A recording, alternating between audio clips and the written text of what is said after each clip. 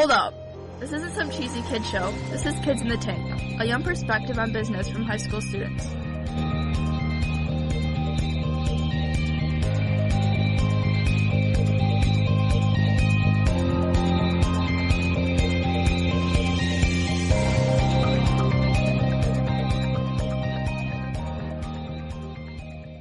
Welcome to Kids in the Tank. I'm Elissa, and with me in the tank are Samantha and Jenna. Today we are honored to have Dwight Larkin as our special guest. Dwight is currently the financial advisor at Northwestern Mutual. Dwight, you are officially in the hot seat. Awesome. Thank you very much. So, Happy Dwight, the first question we have to ask you today is Do you do your own financial advising and do you bank with Northwestern Mutual personally? Great questions. Uh, my wife Renee and I have an advisor that we work with. He's in Nashville, Tennessee, uh, because the advice isn't just about the math. Uh, it's about someone who can hold you accountable, and human nature doesn't allow people to do that for themselves. So we have somebody who we work with. Okay. and don't bank with Northwestern Mutual. We bank with U.S. Bank. Uh, Northwestern Mutual is a lim- it's a limited purpose bank uh, within our wealth management, which is where the money is uh, is held, but it's not a true bank. Okay. Otherwise, I would. Okay. What does your excuse me, your CL CLTC. certification do for your practice? It's uh, it's just letters. It it means that I I know a lot about long term care insurance, which is usually toward later in life. Um, but it's it's just letters. Um, it, if you have the conviction around what you're doing and helping people, it doesn't really matter what the letters are. So, um, with all of your years, like all your experience in your job and what you've been doing, what's the best advice you would have for our generation financially, like when they're trying to do a financial plan or trying to budget the best way they can? Great questions. Uh, number one, first and foremost, stay out of debt as much as you can. Uh, there's good debt and bad debt. Good debt's student loans, as you get older, mortgages and car loans. Uh, bad debt is, guess, Bueller, Bueller. Credit Cre- cards. yes, Yes. credit cards. Be be super crazy cautious to not get into credit card debt. Uh, debt is uh, what can uh, hamper families, but also it's the number one reason businesses go out of business. Right? They get into debt, they're upside down. You, you hear about it every day. So that would be my best advice. And start start saving in a forced way where you have to save money if you can. But first and foremost, stay out of debt. All right. So, what actions do you take for whatever reason um, when one of like the clients that you have does not and meet you meets with you? Um, what do you do when they don't like follow through with the plan that you have made? Great question. Most people follow through in one way, shape, or form, and it's it's never about being perfect, but it's about incrementally being better. So if I can talk with them about doing one thing better than what they were doing before we met, that's a win. Okay. And then, how often does that happen? That that people don't do Yeah, everything yeah. most of the time. Wow. Yeah. So, in your perspective, um, with nowadays, is do you feel like it's still worth going to college? Absolutely.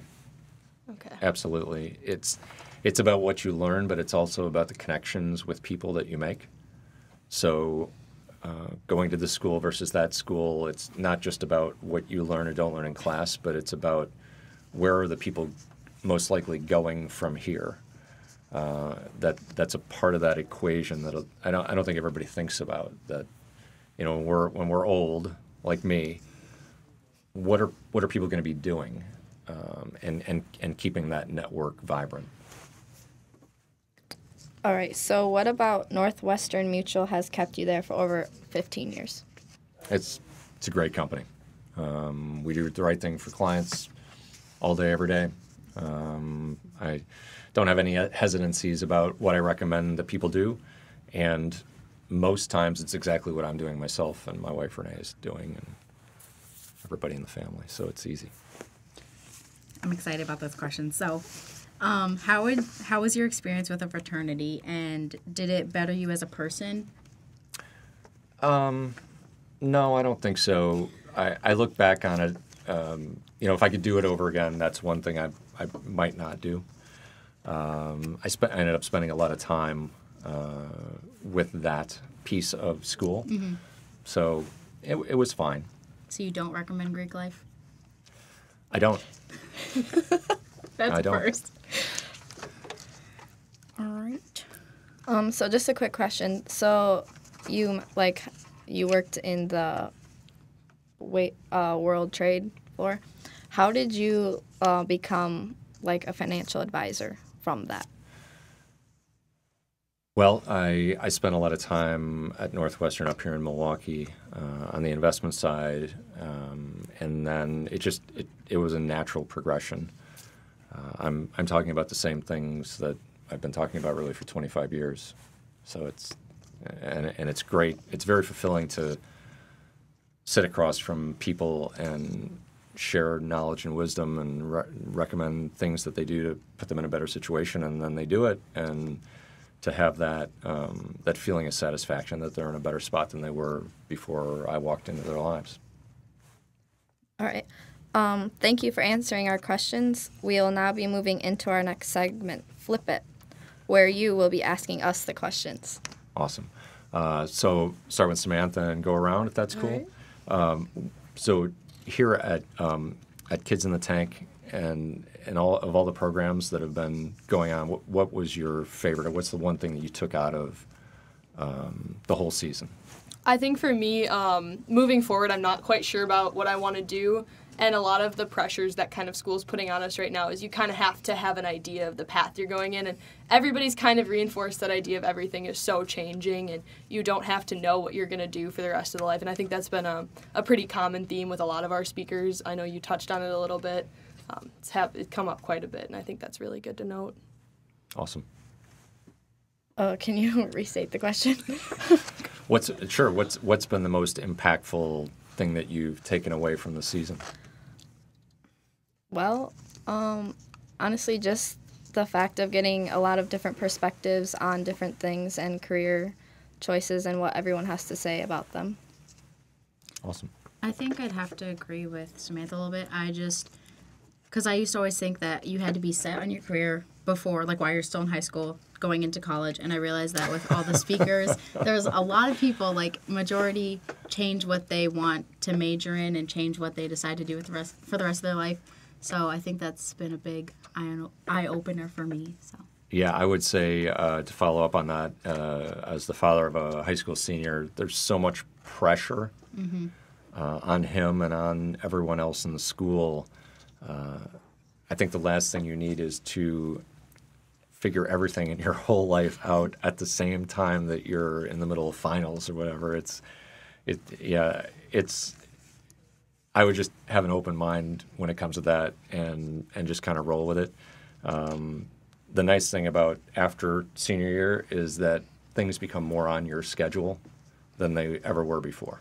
So you have that to look forward to. And the nice thing with BizTank is there's so many different speakers from so many different careers. I thought coming into this, because it's my first season, I thought coming in it'd just be all like entrepreneurs and people who are specifically in business. But we've met people from like so many different type of careers, which has given us a different viewpoint for each one. That's So awesome. Pretty cool. Really cool. I agree. So Samantha, what uh, what do you have coming up that uh, you're most excited about, or most have the most trepidation about? Um, I have to say, um, I'm a student athlete, so softball season's coming up again, and just kind of starting up as a senior, um, hoping to be a captain this year, and like being able to lead kids by example and help all those kids get through the program for their first or second year, and just kind of turn over a new leaf. We've had a lot of negative attitudes in the past, and I think that that's something that just you need to start over and change completely. So. Yeah, you got to crush that. Um, I would have to agree with Samantha only on basketball this season. Uh, like in the past years, you know, we've had like drama or, you know, like people complaining of like not enough playing time or just different variety of things. And being able to like step up and lead by example and say like, you know what, guys, like let's push through this, let's do this, like we got this um, kind of attitude. Really Um, for me, I think it would. Wait, can you restate your question again? I Uh, think well, I, sure. think I knew no, what you're asking, no worries. sure. Uh, in the near future, what's something you're either excited about or Oh, okay, yeah, fearful okay. of? Um, I'm excited. Okay, not really excited, but I'm excited for the ACT just to see how I do. I'm not like necessarily excited for it, but I've been pla- like studying a lot, I guess, and also I want to take the ACT first to get my score back, and then start doing college tours. I feel like I can't. I mean, I know I can do college tours without taking the ACT, but I'd like to have that um, information so I can do all that stuff. Because I'm just excited to see where like my next my next chapter is going to be. So. That's I'm- awesome. I'm um, also excited about that too. I'm like beginning to visit colleges and like talk with like college admissions. and do like job shadows and all of that. That's exciting. It's it's a that's a big game changer in your life, and start thinking about things bigger, and Mm-hmm. Then the drama in basketball or softball. It's like, well, it's, it's your problem. I'm, Yeah. Yeah. Those are the questions I have today. All right. okay. Okay. Dwight, thank you so much for joining us here tonight.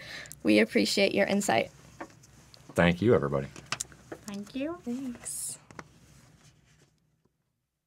Kids in the tank, out. Is that is that what? Tank out. Um, Deuces.